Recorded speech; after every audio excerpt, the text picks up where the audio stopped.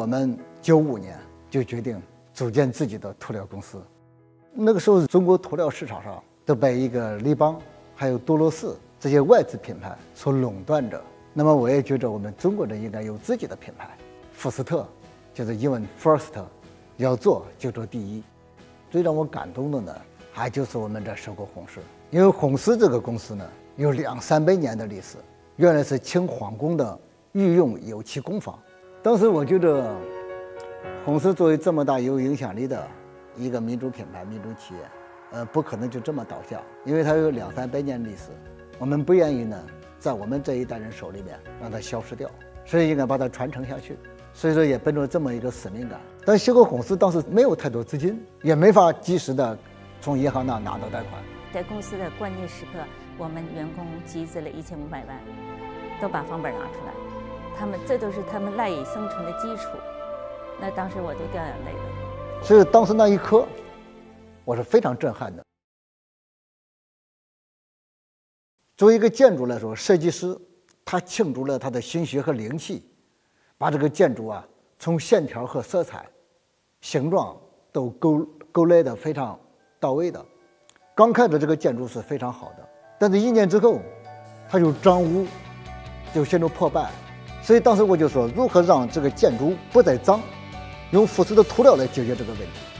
后来呢，我们有我们的博士后工作站给我打了一份报告，涂料之所以脏，是 PM 二点五的事。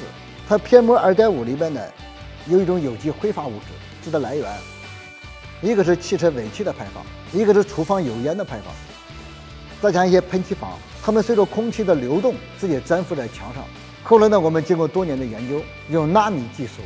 从矿物质里面提炼出一种纳米材料，如果是这些污染物质粘附在上面了，它会在太阳光的作用下，它起一种催化裂解的作用，把太阳光的光能转化为化学能，把这些有机挥发物质进行催化裂解，裂解为二氧化碳水和固体颗粒物，这样它们对墙体的附着力就没了，没有附着力，雨水一冲它就掉了。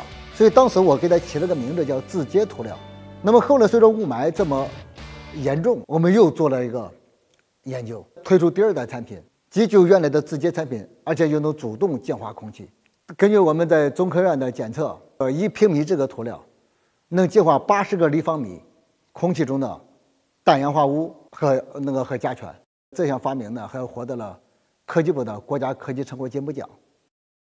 这个企业是在改革开放中诞生的，那毫无疑问，如果没有改革开放，不会有福斯特。一个企业，它之所以在社会上有生命力，最重要它的社会价值和社会贡献。如果没有社会价值和社会贡献的企业，它是没有生命力的。坚持、创新、突破，练好内功，突破企业发展中的瓶颈点。